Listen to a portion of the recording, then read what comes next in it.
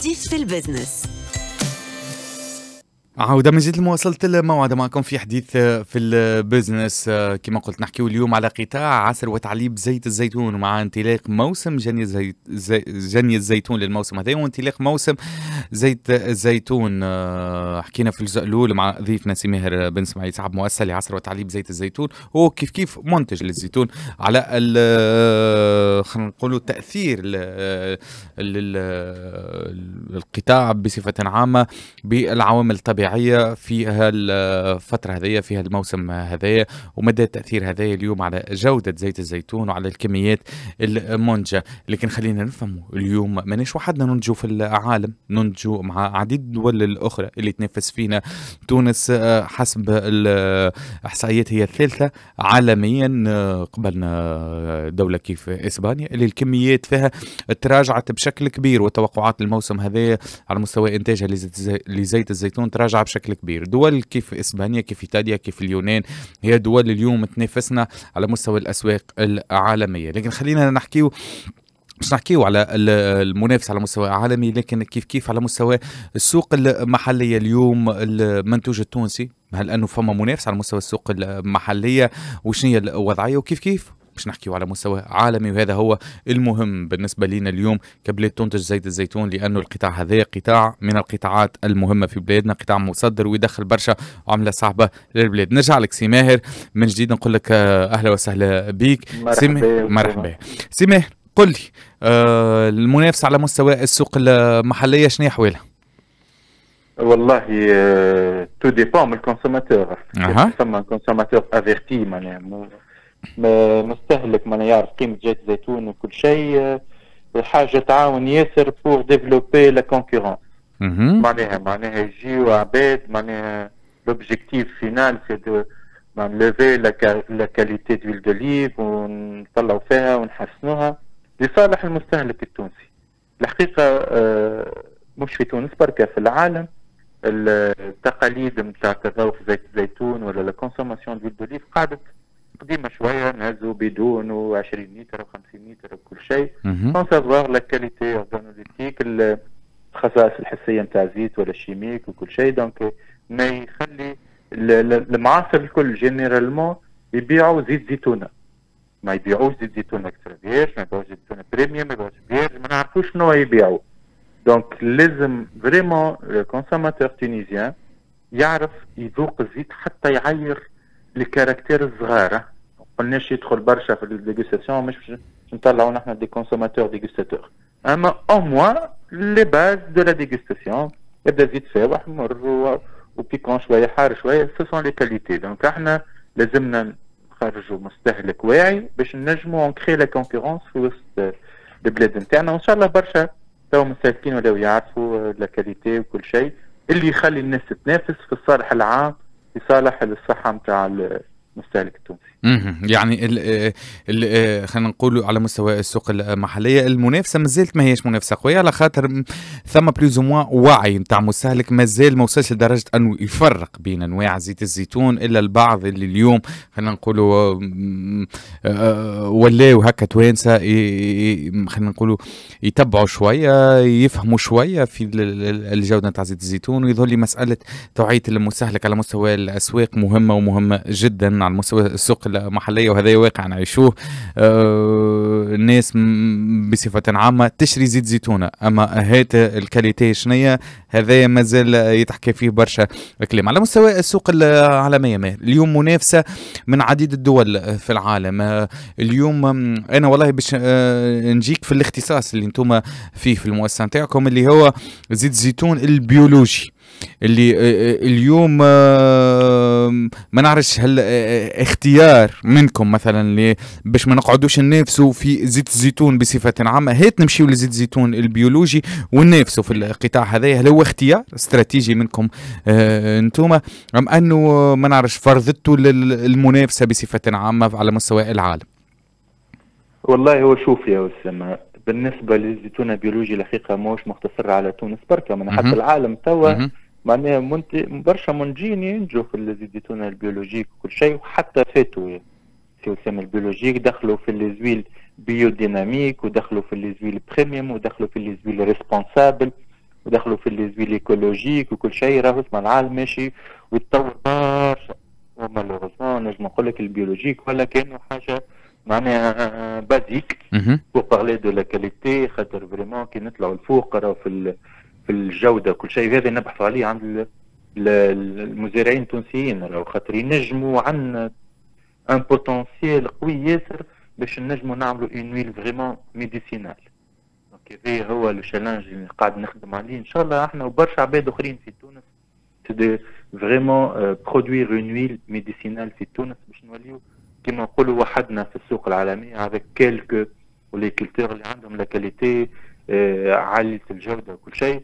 ال biologique oui mais راهو كي نتحطوا إحنا في ال stand بعد في النهاية شنو الناس ما تعرف الشيء هذا بيجيو في stand باش يشريوا المستهلكين الاجانب donc كانوا يدوا غادي des espagnols des italiens des grecs des portugais اتراك كل شيء donc إحنا كيفاش يقول لي أنا ال distributeur نتاعنا في سويسرا يقول لي أنا راني عندي مشكله في les derniers mètres مش مشكل كي يمشيش للزيتونة نتاعك خاطر ينجم ي consommer ه من بعد يعجبه كل شيء. mais كيفاش ياخذه هو أول مرة؟ يتحط قدامه 100 زيت آخر. آه عندهم une belle image عندهم les belles bouteilles عندهم la belle communication كل شيء. إحنا الحقيقة لازمنا نخدموا برشا على الشيء هذا. أنا نقول لك في تونس موجودة كان دبوزه واحدة تصنعها شركة واحدة. آه donc كلنا عبارة تابع سكر نفس الدبوزة وكل شيء. تجي باش تعمل l'importation des bouteilles pour concurrencer les autres agriculteurs mm -hmm. étrangers وكل شيء تلقى روحك avec un prix fois 3 donc vraiment لازم نشوفوا بنظرة شاملة القطاع نتاع زيت الزيتون وكل شيء خاطر ما فيهوش كان زيت فيه la mise en bouteille فيه la belle bouteille la belle étiquette وكل شيء باش نجموا نبيعوا لبرا. راهو الخسارة معناها في إيطاليا معناها يحط لك le drapeau italien وحده يبيع معناها. le drapeau espagnol وحده يبيع إحنا comment faire pour vraiment provoquer le consommateur étranger? باش يشري دبوزة الزيتونة التونسية donc أنا à mon niveau نعرف كان باش ياخذ الزيتونة دبوزة الزيتونة التونسية راهو باش يولي ياخوها حياته كاملة mais كيفاش نجم ياخوها أول مرة هذا هو المشكل الكبير اللي لازم vraiment الناس الكل تخدم عليها CEPEX ال PACKTEC وزارة الفلاحة السياحة والثقافة donc c'est un travail معناها موش ساهل كما نتصور لازم الناس الكل نخدموا عليه باش ندعموا معناها l'image le brand Tunisie في في الزيتون التونسي. يعني خلينا نقولوا القيمة المضافة اللي باش نعطيوها لزيت الزيتون لازم نخدموا عليها أكثر ونحسنوا في المظهر بصفة عامة نتاع ال produit اللي نقدموا فيه في أحسن مظهر نقدموه في والله ماهر باش نسألك حقيقة وأنت تحكي توا طرحت سؤال اليوم اللي فهمتوا مؤسسة واحدة تنتج القوارير نتاع التعليب نتاع زيت الزيتون في تونس. oui oui c'est مؤسسة واحدة تنتج القوارير نتاع نتاع الزيت. والحقيقة كي نحكيو معاهم ولا كل شيء هما متفاهمين في الوضع. ما يقول لك أنا زادة ما نجمش نخلي les bouteilles تاع الجازوز ننتج بالعشرات الملايين تاع الدبابز باش باش نعمل moule spécial pour l'huile d'olive باش تنتج 500 ألف دبوزة. يقول لك أنا ما نخلصش فهمت؟ donc هذا وين تفهم l'intervention de l'État تجي تدعم l'entreprise هذا باش تعمل لنا un moule ولا deux trois moules différents باش نجموا نعملوا notre bouteille propre à nous معناتها كل مؤسسة كل كل مؤسسة كل شركة كل معصرة تولي عندها الدبوزة نتاعها معناتها نتاع زيت الزيتون نعرف أنا من شكل القارورة هذيك تاع زيت الزيتون نعرف المؤسسة ونعرف الجودة اللي قاعدة تخدم عليها. هذا اللي قاعد تقول لي فيه. Eh bien, il faut développer des circuits touristiques de, de, de la route de l'Olivier. C'est important ça. حتى احنا الفلاحه نتاعنا وانت تعرف اسامه اللي انا عندي برشا نخمم برشا في سياحة زيت الزيتون ونحبها على خاطر تقريبا l'écoulement de l'huile d'olive tunisienne أنا أنا أنا تقريبا أنت من أول المنتجين وأصحاب المؤسسات اللي قاعدين يخدموا على الموضوع هذا. موضوع أنه سياحة زيت الزيتون اليوم عندكم وين تستقبلوا السياح يجيوا من كامل أنحاء العالم يكتشفوا عملية الجني عملية الزراعة عملية العصر والتعليب يحضروا معاكم تعملوا des séances de dégustation للضيوف نتاعكم هذايا ماهر خلينا نقولوا نوع من أنواع العمل على الترفيع في في جودة المنتوج والتعريف به أكثر. نحب نسألك معناتها هل اخترتوا هذايا لأنه باش نربطوا باللي كنت تقول فيه قبيلة قلت لي وأنه المستهلك الأجنبي نحبوا يولي directement يمشي يختار زيت الزيتون التونسي مش من بعد ما يذوقوا يولي ديما ياخذوا وإنما يمشي ياخذوا من أول مرة. هل هذا يدخل في الثقافة هذه في أنك تربي مستهلك اجى في بلاصه إذا كان ما عنديش الإمكانيات باش نوصلها له دبوس زيت الزيتون هذيك حتىش لفين هو تيان وقت اللي يجيني هو لهنا نعرفه بزيت الزيتون التونسي يولي هو ينجم ياخذه directement كيف يرجع لبلاده هذا هو انت لخصت كل شيء سي اسامه شوف هو بالنسبة لتونس راهو les oléiculteurs tunisiens كلهم. معناها la production moyenne راه ما بين 500 لتر حتى 10 طن d'huile معناها sont des oléiculteurs معناها صغار ومتوسطين. donc أنا شنو نقول؟ باش ندخلوا في حكايه هاو ال export أو وزاره التجاره أو الديوانة أو les étiquettes أو الدبابز وكل شيء. يا خويا il faut faire un truc في وسط الضيعة نتاعك تكون زاد جميلة مش تعمل حاجة هكاك خاطر تغادر le produit معناها كي donc نعملوا حاجة جميلة تجم تستقبل فيها الناس وتولي تعمل l'écoulement direct ت de votre huile sans aucune charge وزاد كيف كيف تبيع le prix على ال export سامحني هو كي يجي يشوف لك تخدم انت معناها وشوف la traçabilité وشوف la propreté وشوف كل شيء. واحد راه دبوزه تنجم تبيع أغلى حتى من prix d'export معناها. خاطر هو c'est bon معناها. il a détecté toute la chaîne de valeur وكل شيء. donc يعطيك ثقه يعطيك confiance donc تنجم تبيع تعمل des opérations d'export sur les lieux وهذا اللي نحبوه vraiment برشا les Italiens يخدموا عليه برشا les Espagnols les Grecs وكل شيء donc علاش لا إحنا ما نخدموهوش ونوليو الفلاحه نتاعنا يبيعوا حتى 50 60% من المنتوج نتاعهم sur les lieux يربح أكثر فلوس bien sûr تولي عنده une autre activité معناها touristique هامه ياسر باش ينجم يخرج الزيت نتاعو واللي عنده certain équilibre financier. ماهر آخر سؤال نحب نسألك اليوم فيما يتعلق بتصدير زيت الزيتونة للخارج، نعرفوا اللي آه، جزء آه، مهم من زيت الزيتونة ننتجوه على مستوى وطني تصدروا الدولة، فما جزء آخر مهم ومهم جدا. تخدموا عليه أنتم كأصحاب مؤسسات تبحثوا على الأسواق اليوم مسألة البحث على الأسواق هذه والتصدير للخارج، هل فما صعوبات بالنسبة لكم أنتم على مستوى التصدير للخارج؟ فين تلقاوا بعض الصعوبات؟ على مس... على أي مستوى ثم اللي يقول لك نلقاه على مستوى اللوجستيك فما اللي يقول لك نلقاه على مستوى المعاملات الإدارية والبنكية وكثرة الأوراق اللي تصعب علي العملية وتطول العملية شوية. أنتم كيفاش تراو مسألة التصدير هذه بصفة عامة؟ وين فما الصعوبات؟ وشنو اللي لازم يتغير باش نسهلوا العملية أكثر؟ أو الحقيقة صعوبات في زيت الزيتون sur les deux plans اللي هما صعوبات لوجيستيك علاش؟ على خاطر أنت تاخذ une commande يجيك une commande اليوم معناها يقول لك livraison dans 30 jours معناها أنا باش نعمل une étiquette لازمني نقعد شهر ساعه باش تخرج les étiquettes pour faire l'achat des bouteilles وكل شيء امكانيه كبيره ما تلقاش معناها c'est معناها rupture de marché موجوده على الآخر في les bouteilles d'huile d'olive وأنا en tant que فلاح صغير ما نجمش نعمل stock des bouteilles ما نجمش نعمل 20 ناس دبوزه أنا نحطها على قلبي في الفيرما ونقعد نستنى فيها حتى تجيني commande donc ديما ناخذ commande donc هذايا l'aspect logistique والتواجد نتاع les bouteilles d'huile d'olive وكل شيء و les étiquettes نخرجوهم بالوقت. زاد c'est un problème كبير على الآخر للفلاح. donc à part معناها les problèmes administratifs عنده خاطر يشوف يقعد الفلاح باش يولي أكثر منه إداري أكثر منه فلاح أكثر منه exportateur راه c'est très difficile donc كان لازمنا نسهلوا له علاش يمشي للتجارة؟ راه مضنيه راه عملية التصدير.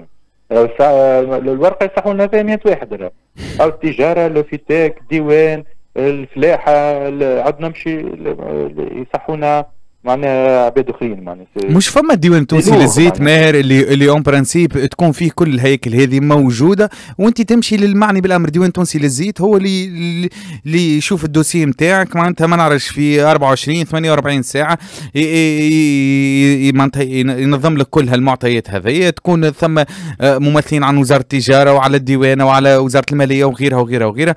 تشوفوا هذا الكل وتاخذ الموافقة وتصدر البضاعة نتاعك ما, ما نعرفش آه، علاش فما كل هذا هذا هو اللي لازم هذا هو اللي لازم. خاطر vraiment إحنا معناها باش نصدروا صدقني ينفع عليه de l'huile d'olive وكل شيء تعب ياسر وتولي انت بيدك إمكانية كبيرة إنك تقلق معناها. تقول لا نولي نبيع فراك وختاني أنا من المشاكل الإدارية اللي تنجم تعمل لك. مش دونك إحنا لازمنا فريمون نسهلوا على الفلاح. علاش؟ وأنا جيت نقول أنا اوني با نحكي ديما على التيسيو اللي هو صغير نتاع الفلاحة. صغار اللي يمثل 80% راهم الفلاحة في تونس أنا مش نحكي على 3 ولا 4% دونك هذوما لازمنا أو موان نعاونوه. يا خويا جيب لي بوتاي اتيكتاج باهي كل شيء. وأنا تو نصدر لك. الاوراق الكل نعمل لك شباك موحد ولا نعمل لك ان فورميلير تعمرها وتبعثها اون ليني تنصحوا لك فيها الناس الكل وتلقى الزهد نتاعك في البرد. دونك فريمون وأنا نحكي وأنا عندي معناها سيغتين كونيسونس وكل شيء وتعبت خلي فلاح تلقاه شوية معناها مش قادر انه باش يعمل هذا الكل يقلق وياس تلقاه عنده très bonne huile d'olive extra vierge وكل شيء ويلقى صعوبات مالوغوزمون إن شاء الله هذا يتغير. هذا اللي ندعي له. هذا اللي آه، نحاولوا معكم نفهموه ماير في كل مرة. نحكي على قطاع من القطاعات وانشطه من الانشطه الاقتصادية. نحاولوا نفهموا هالمشاكل هذيا مشاكل بالساهل باش نتجاوزوها بقرارات لكن ما زالت هالمشاكل هذه متواصلة. تأثر برشا على نشاط القطاعات الاقتصادية. آه، آه، كيف قطاعكم اليوم؟ ما تاثرش كان بالعوامل المناخية. تنجم تكون عوامل مناخية طيبة وتعطي منتوج طيب لكن في الأخير نجموا نتعطلوا بسبب مشاكل إدارية وبعض الوثائق وغيره وغيره من هالمشاكل هذه كيف كيف على المستوى اللوجستي.